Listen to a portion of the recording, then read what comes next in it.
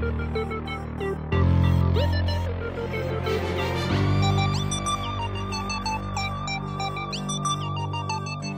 to the Northbound Wealth Podcast. All opinions expressed by me, my co hosts, or my guests are solely our own opinions and do not reflect the opinions of Northbound Wealth Management.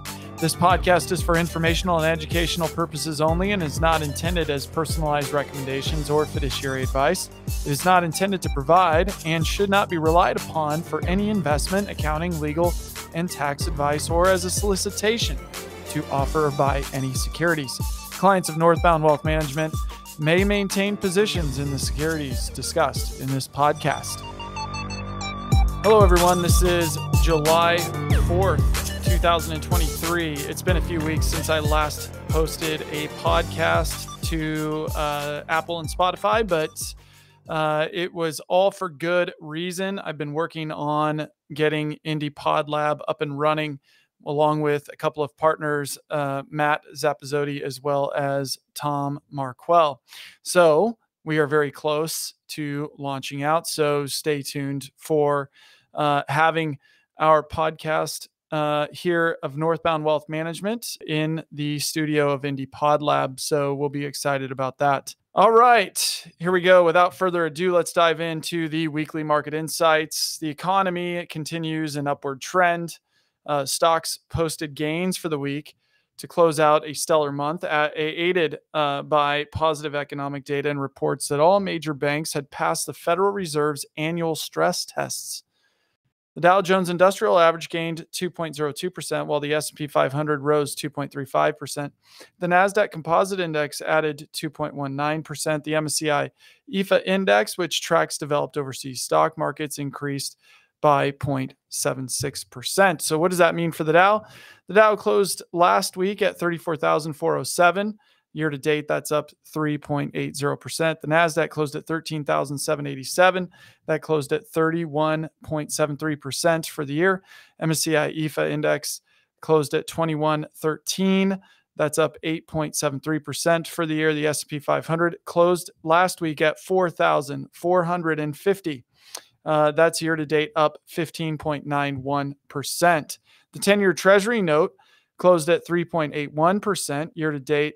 That's up basically 0.07%, flat on the year. Stocks climb as recession fears ease. So investors shrugged off weekend news of a short lived insurrection in Russia and calls later in the week for more restrictive monetary policies from global central bankers. What powered early week gains? Good question. New home sales, durable goods orders, and a rise in consumer confidence proved influential. More so were Thursday's reports of a drop in initial jobless claims, an upward revision in the first quarter GDP growth, which helped allay recession fears. The results of the Fed's annual bank stress test, which all major banks passed, further emboldened investors. Stock prices rallied Friday following an encouraging inflation report, capping an end to a solid week, month, and first half of 2023. And by the way, on that note, I just released this week the Northbound Wealth 2023 halftime report. So check that out on YouTube and then also be looking in your inboxes if you're a client to and on social media uh, for that update. It's about 30 minutes. I go over four key areas. Uh, you'll want to check that out um, as it's being released this week in waves. All right. So, global central bankers meet at last week's European Central Bank Forum. Central bank governors from around the world gathered to discuss their monetary outlook and the policies needed to manage inflation amid unexpected economic growth. Fed Chair Powell reiterated that more rate hikes were coming owing to a robust labor market. He added that he wouldn't dismiss the idea of hiking rates at consecutive FOMC meetings. While saying there is a possibility of an economic downturn, Powell didn't believe it was the most likely case. Meanwhile, bankers from the ECB and the UK echoed Powell's comments declaring that further rate hikes are needed to tame their still elevated inflation rates. This week, key economic data. So, the PMI Manufacturing Index, Institute for Supply Chain Manager ISM surveys are being released on Monday. Wednesday, factory orders, FOMC minutes, which we're all paying attention to. Thursday, uh, ADP Employment Report, Jobless Claims, Institute for Supply Chain Management uh, Services Index, Purchasing Managers Index, or PMI composite. We're all focused on that one. That one will be an important one. And then the JOLTS survey or job openings and turnovers. So we're going to pay attention to that Thursday. Friday, employment situation updates. All right, this week, uh, notable companies reporting earnings. We've got Seven and I Holdings and Levi Strauss. Next week is the big week, kicking off earnings, starting with all the major banks. And uh, I'll be paying attention to their guidance and their reporting. Tax tip Can you claim the child care tax credit for other dependents? Um, even though you may not be able to claim the child tax credit, you may be able to claim the credit for other dependents under your care. The IRS issues a max of $500 for each dependent who meets specific conditions. These conditions include dependents who are 17 or older on December 31st of the tax year, dependents who have individual tax identification numbers, dependents living with the taxpayer for more than six months of the year. Remember the special rules for divorced and separated parents or parents who live apart. The credit begins to phase out when the taxpayer's income exceeds $200,000 a year. This phase out begins for married couples filing a joint tax return at $400,000 a year. This information is not intended to be a substitute for specific individualized tax advice. We suggest you discuss your specific tax issues with a qualified tax professional. All right. Uh, stay tuned for the next segment. We've got a lot of really good information in this 45th episode of the Northbound Wealth podcast, so stay tuned. So, MFS Investment Management compiles data from around the United States and then they post it every week and they send it to people like me um, who subscribe to it. And I find it very interesting. It's called By the Numbers or, by, or Beyond the News, excuse me, By the Numbers Beyond the News.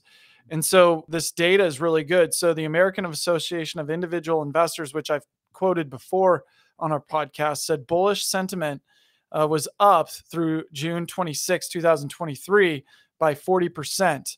Uh, so that's interesting. And it's reflective in the equity markets as well. So bullish sentiment heating up. Individual investor bullish sentiment exceeded 40% in the week ending 621.23 for the third week in a row. The last time bullish sentiment exceeded 40% for the three or more weeks was in July of 2021. Even with the elevated sentiment, bullish sentiment what has not cracked above 50% for 113 consecutive weeks. That's notable. So, new economy beats old economy through uh, almost the end of June. The NASDAQ was up nearly like 35% year to date versus a gain of 2.4% for the Dow. 33 percentage points spread between these two large cap US equity indi- indices is easily the widest uh, through the first 117 trading days of any year since the NASDAQ began trading in 1985. And that source was from Bespoke. Um, week finish into halftime. So halftime would be at the end of June. So since 1945, the S&P 500's median performance in the last week of June has been a decline of 0.14% with gains of just 40% of the time. Uh, in the 24 years where the S&P 500 was up 10% plus year to date as it was this year. The median decline during the last week of June was 0.39% with gains of just 46% of the time and that source was from Bespoke as well. Um, a source of Credit Karma in recent survey uh, 33% of Americans say they knew the net worth of one or more celebrities, and among Younger Gen Z Americans, the percentage was even higher at 64%. Despite knowing the net worth of celebrities, more than half, 51%, reported that they had no idea how to calculate their own net worth. Fascinating. Jeez. Talk to us if you don't know how to do it. Uh, surge in housing starts. U.S. housing starts surged 21.7% on a month over month basis in May, the largest monthly increase since October 2016, and just the seventh increase of 20% or more dating back to 1989. One year after each of the previous six 20% plus monthly increases, the S&P 500 Home Builder Index was up every time for a median gain of 36%. And that source is from the Census Bureau. Uh, National Association of Realtors says trapped in low rate mortgages. You're darn right. If you bought a house before 2019 and have a loan, you're likely in the 3 to 4% range or maybe even better.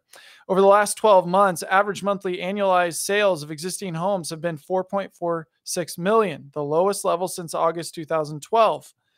Supply remains the main culprit as inventories of homes listed for sale fell to 1.08 million, which is the lowest level for the month of May since at least 1999. God, these are, man, it's crazy times we live in, leading to a recession. So, the conference board uh, index of leading indicators declined in May for the 14th straight month. Since 1959, the current period ranks as the third longest streak of monthly declines and just the fourth streak lasting a year or more. Of the three prior periods, the economy was already in a recession by the time the streak reached its 12th month. there you go. Talked about that before as well. Let's see record inversion pace. So Bespoke has some data here through uh, the end of June. Basically, the 10 year, uh, three month US Treasury yield curve has been inverted, which is 10 year yield lower than three month yield, for 154 trading days dating back to November 2022. Since 1962, the longest streak with an inverted 10 year, three month curve was 209 trading days ending in May of 2008. To break that record, the curve would only need to stay inverted through mid September of this year. And by the way, it's still inverted. They're trying to not have it be inverted, but it still is. Um, no time to plan. So Charles Schwab says 65% of Americans surveyed in the Charles Schwab's 2023 Modern Wealth Survey said that they do not have a formal financial plan. Of those without a plan, 21% said it was because it seemed too complicated, and 20% said it was uh, too time consuming. Yeah, it takes some effort to make a plan, doesn't it? And uh, we're happy to do that for you and with you to create a financial plan so you can be one of the the unique ones that says yes i have a written plan let's see uh, us department of labor and data from bespoke Jobless claims surge. Jobless claims are up 45% from their lows, but the latest weeks, which was this is kind of mid level June data, uh, reading of 264,000 is still extremely low by historical standards. Since 2016, the median weekly level of initial jobless claims had been 235,000, but in the 1,878 weeks recorded from 1980 through 2015, there was just one week where claims came in below 260,000, and the median weekly reading over this period was 360,000. Let's see, big city blues. Uh, this is from Indeed, actually. Uh, job postings in the US tracked daily by Indeed are down 21% from all time highs made on 1231 of 2021. Major cities with populations above 3 million have seen job postings fall the most at 25 plus percent, while metros with less than a million people have seen postings fall the least uh, at 17%. Interesting there. Welcome, North Carolina. So, this is from the Duke Chronicle. Earlier this month, and this was in June, North Carolina became the 38th state to legalize sports betting and the 29th to allow mobile wagering. North Carolina will collect an uh, 18% tax on gross wagering revenues and use some of those proceeds to fund gambling, addiction, education, and treatment programs, as well as collegiate athletic departments and other youth sports programs across the state. That, that wraps it up for Beyond the News by the numbers MFS Investment Management. Uh, really appreciate them uh, summarizing a lot of interesting data across the street and providing that to us so that I thought I'd share it with you. On to the next segment. Hey, this is Brent Foster, and I want to talk about uh, what the Daily Upside sent out today. It's about white collar woes. So, you guys might be wondering what the heck is that? Uh, let's see. We are in a recession if you ask high earning Americans. It's a quandary worth of Shakespeare. Are we or are we not in a recession? The answer, it turns out, may depend on your tax bracket. The unemployment rate still hovers around historic lows. Inflation is finally falling and GDP keeps ticking up. But for high earning Americans, fresh off a couple of rollicking pandemic years, it's beginning to feel a bit more like a recession, according to recent analysis by the Wall Street Journal. Down and out in the metropolitan and union clubs. Oh, how the tables have slightly turned. Thanks to the tight labor market, wage growth among lower paid and less educated laborers has finally outstripped that of their higher paid, higher educated counterparts after four decades of increasing wage inequity or inequality. According to a recent research paper published by the National Bureau of Economic Research, that dovetails with Labor Department data that shows that recent wage growth among the highest earners in the bottom 10% has surpassed the rate of inflation, while those in the 90th percentile have seen wages fall behind rising prices. Meanwhile, ritzy jobs in the New York City securities industry saw a sizable 26% haircut to typical end of year bonuses in 2022, down to just $176,700, according to state level data. And it's not just income where society's upper crust, or at least uh, the lowest rungs of the upper crust, are feeling the sting. There's a reason why newspaper business sections feature seemingly contradictory headlines about both historically low unemployment rates and massive waves of high profile layoffs.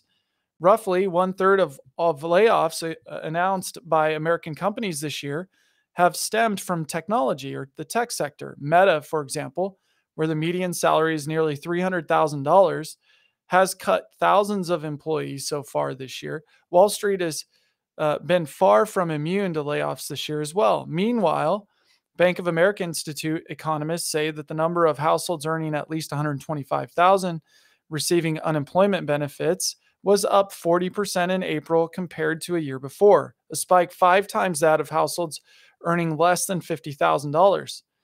And that's only the 30 states in which laid off workers receive benefits via direct deposit.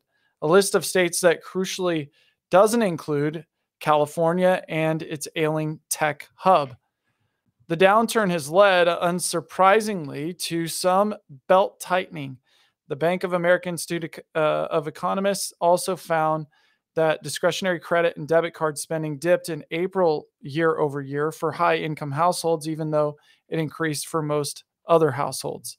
Of course, surely you've shed a crocodile tear or two by this point.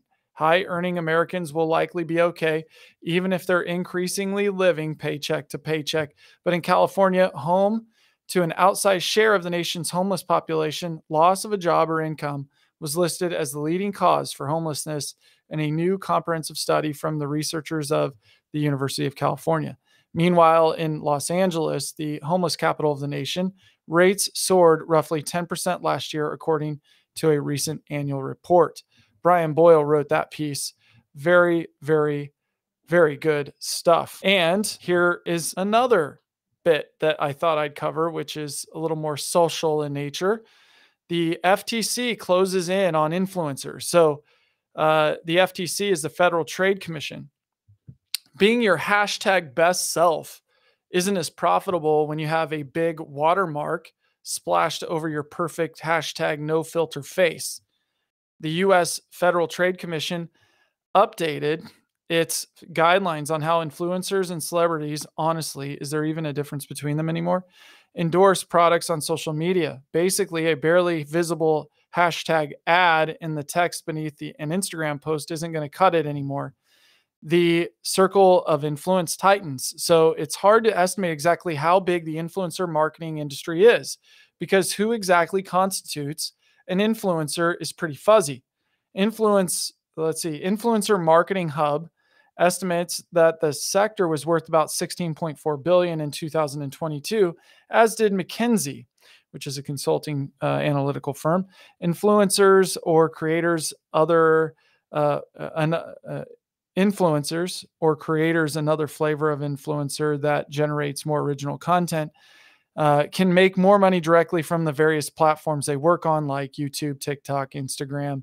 All have programs that let creators profit off the companies directly, but endorsements are where the serious money lies. According to McKinsey, the consulting firm I was talking about, even relatively obscure influencers can bag a five figure payday for a single post, and celebrities can go higher than six figures.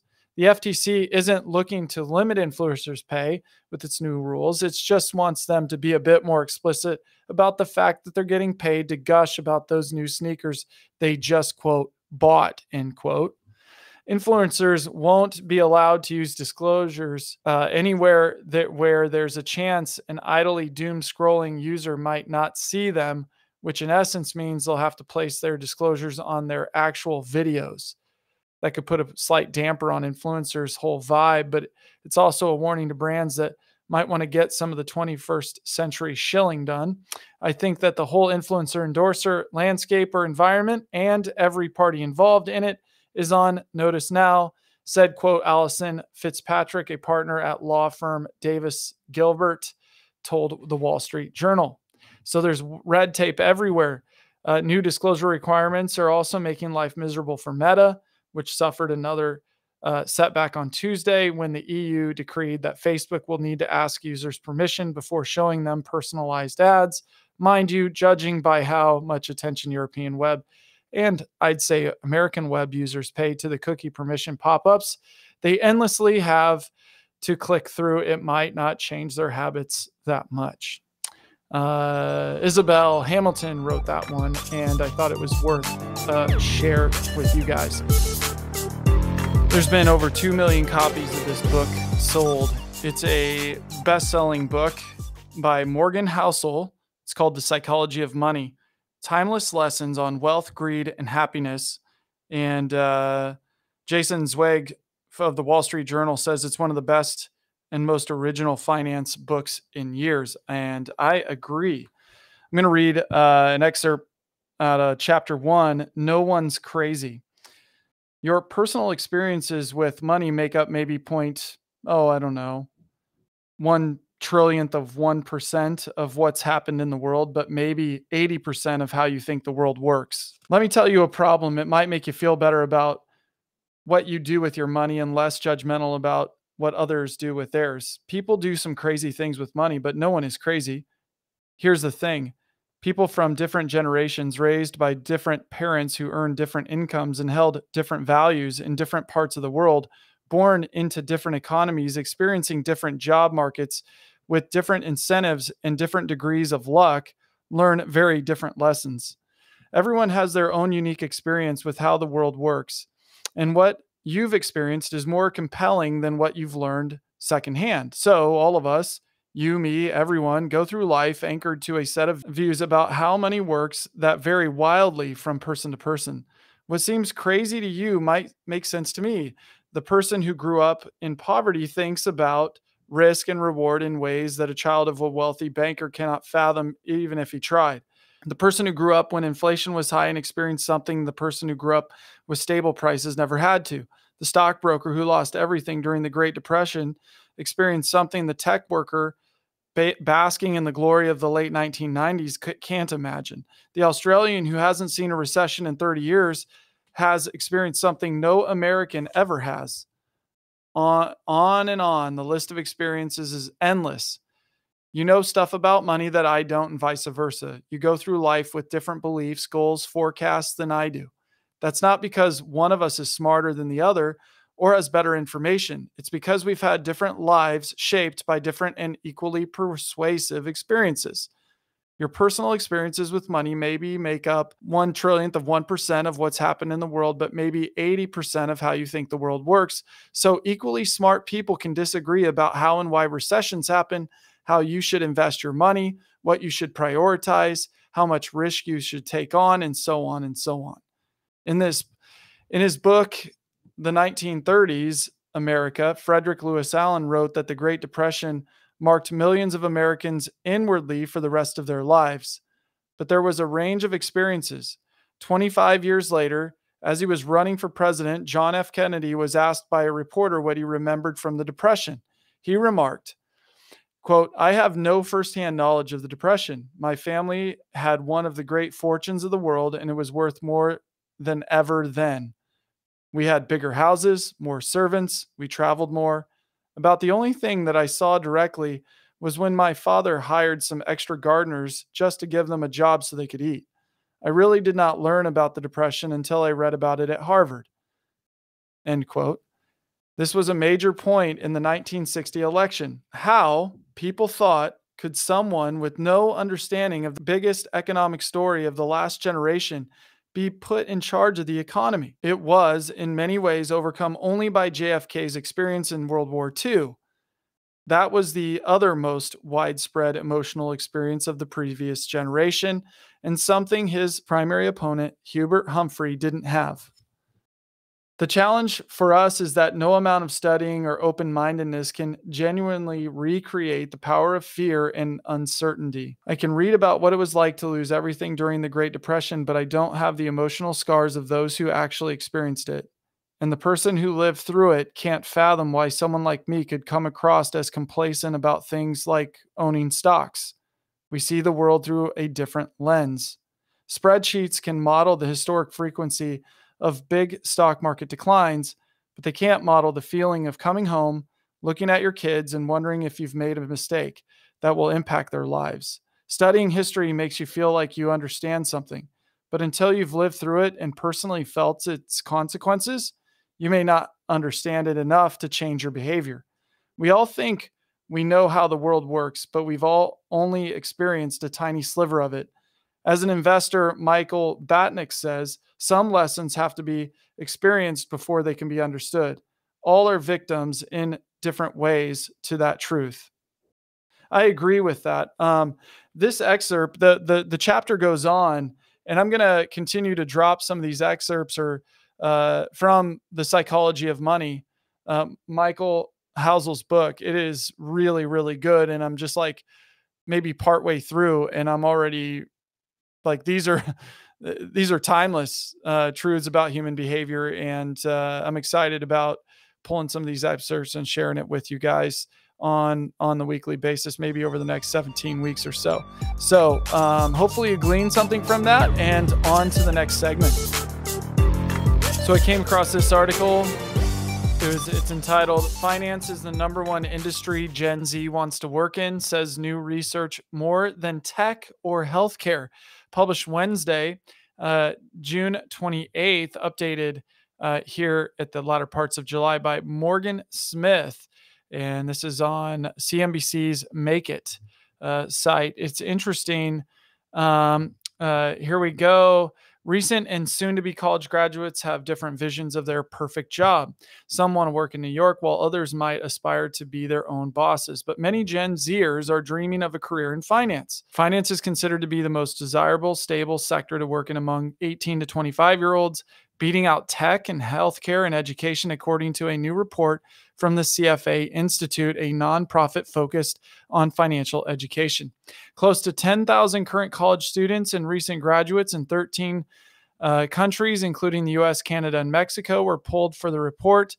The, the survey results are a stark contrast to those in 2021 when finance was ranked fifth in popularity among college students and recent graduates behind the same industries as well as business. To be sure, finance has not been immune to the challenges that have afflicted tech, healthcare, education, and other industries, including but not limited to overhiring, employee burnout, and battles over returning to the office. What has set finance apart from its competitors and made it the career path du jour among Gen Zers is how finance companies have responded to these challenges. As other industries pause hiring, college career advisors and industry professionals say financial firms are upping their recruiting efforts on college campuses to attract Gen Zers. And uh, basically, they're targeting campuses where tech has left them behind. Uh, AJ Ehrenstein has been counseling college students on their careers for 15 years. In 2023, he says, has been the worst year for rescinded job offers in tech that he has ever seen. Financial firms seeing the chance to hire engineers, developers, and data scientists are scooping up the talent unlocked by layoffs and hiring freezes in Silicon Valley. These companies are approaching us and asking for opportunities to be present on campuses to recruit business and computer science majors, says Ehrenstein, who is now the assistant vice president of a lifelong success at Barnard College. Uh, quote, he says they're investing more time and money on campuses and showing a clear interest in widening their talent pools and pipelines when other companies have pulled back. So it's an opportunity for financial firms to pick up good talent. There's been a consistent uh, increase in the number of graduates working in finance between 2020 and 2022. 13% of graduates in the class of 2020 entered the finance field, while 18% of the class uh, found jobs in finance. Uh, Aaronstein expects this number to be even higher as for the class of 2023. Financial firms are facing a more competitive market for talent than they were 10 years ago when they almost always had the first pick of hiring graduates from top colleges and universities, says Rhodri uh, Preece, senior head of research at the CFA Institute. One way they're setting themselves apart, uh, ads, is by being the most visible on campuses. Larger companies like JP Morgan Chase and Fidelity Investments are hosting more online job fairs and on campus recruiting events compared to years past, says Christine Cruz Varaga. Cruz Varaga, Chief Education uh, Strategy Officer at Handshake, a networking platform serving more than 13 million college students. Their efforts are paying off. Handshake has seen uh, an increase of 26% in applications to full time finance jobs uh, this year compared to 2022. Um, JP Morgan Chase received over 8,000 applications alone on Handshake from tech majors since the start of 2023, a 74% increase in the number of applications from tech talent last year. Um, let's see, promises of stability and a six figure paycheck driven by inflation and concerns around layoffs. Gen Zs, uh, they're prioritizing stable employment and salary over location and brand name in their job search. One of the main reasons they're showing less interest in working for tech companies, according to recent data from Handshake. Wall Street has been hit by layoffs and hiring freezes too, but it's worse in tech. Amazon, Meta, and other tech companies have cut nearly 200,000 jobs since October, more than twice as many in finance, Bloomberg reports. In a precious job market, Gen Zers are going where fewer roles are cut. Financial firms have existed uh, through a lot of ups and downs uh, they feel more secure to go out and work for a company that's been around 50 to 100 years versus a startup that didn't exist 10 years ago. Most of the popular careers among young professionals are those with high income potential. The CFA Institute found and entry level salaries in finance have remained relatively high in recent years. Investment banking analysts at major firms can expect to make nearly 200,000 in their first year out of college. CNBC has previously reported. Now, by the way, those are for the top uh, jobs. So 200 grand a year is not uh, typical, in my opinion, uh, for those jobs. Now, CFA Institute wise, if you have a CFA, then sure, but uh, it's interesting that they're reporting such a high number.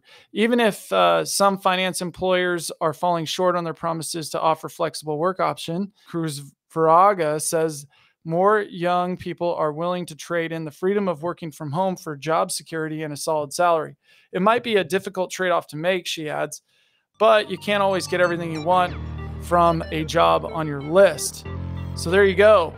Uh, the headline grabbed my attention, thought I'd share it with you. I posted that to social media. But finance is the number one industry for Gen Zers who want to work. Uh, and uh, it's more than tech or healthcare. What say you? I'm interested to hear what your feedback is around that. Um, is that actually true, or is that just a, a Wall Street article trying to get us to uh, focus on the wrong things? Anyway, um, I think finance in the industry is a good one to be in. Have a great week, and we'll circle back next week. Be looking for the next release of the podcast. It'll be the 46th episode coming up. Have a great week. Talk to you soon.